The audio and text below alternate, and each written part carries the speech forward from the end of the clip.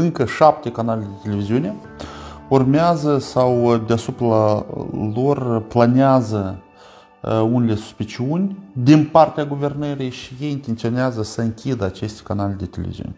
Printre ele se numără canalul M4, Cinema TV, grt din Găgăuzia, radio GRT-ului și alte canale de televiziune.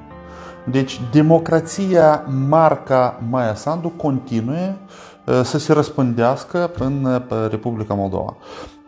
Lor nu le ajunge că au fost închise sau ei au închis în mijlocii 13 televiziuni. Mai vor încă șapte să le închidă.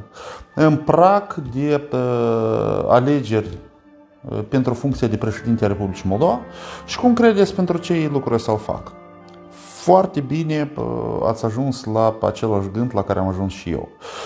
Să închidă tot ce este posibil care reflectă o altă viziune, canale la care vin și sunt invitați lideri de opoziție, lideri de opinii care vorbesc despre realitățile din Republica Moldova așa cum sunt ele, nu așa cum încearcă să le prezinte la canalele lor cei de la guvernare, începând de la Maia Sandu și terminând cu Grosu și Cerecean.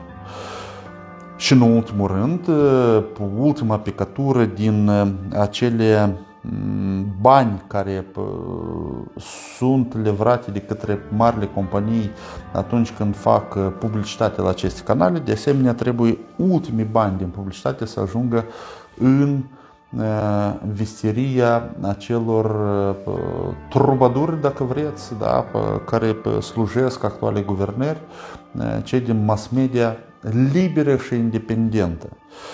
Deci eu cred că ei fac tot acest lucru pentru ca în campania prezidențială să nu aibă posibilitatea să invite da, candidați la funcția de președinte la canalele acestea și să le dea mai mult timp pentru a-și expune pozițiile și platformele lor electorale. Eu sunt convins că Maia Sandu nu va veni și nu va face deci campanie la TV, pentru ea o vor face pe toți acei care conduc aceste televiziuni astăzi, iar televiziunile care cumva au mai rămas în afara vizorului da, guvernării de astăzi, iată, ele acum ajung în lumina reflectoarelor celor de la guvernare și teama mi este că timp apropiat vor primi principala sancțiune, da, retragerea licenței. Urmăriți, stimați colegi, ce se va întâmpla în continuare.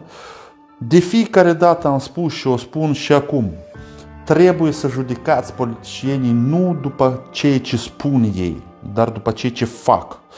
Uh, ei au adus pseudo-democrație în Republica Moldova. Ei au instaurat totalitarismul liberal la noi în țară și vor continua și mai dur uh, următoarea perioadă dacă voi, stimați cetățeni, le veți da încă un mandat prezidențial sau un mandat parlamentar pentru ei ca uh, totalmente să distrugă ceea ce, ceea pentru ce au luptat generațiile anterioare pentru democrație, pentru libertate și pentru un stat de drept.